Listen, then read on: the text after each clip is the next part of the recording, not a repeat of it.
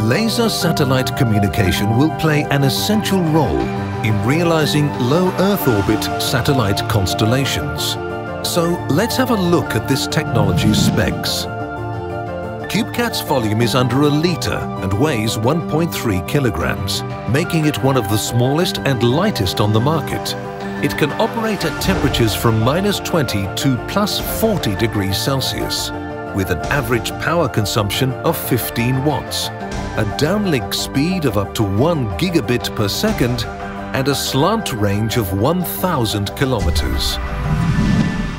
CubeCat's optical aperture is about 2 centimeters wide, and the electronics, the quad-cell detector and the optical bench can easily endure forces of over 150 G during launch.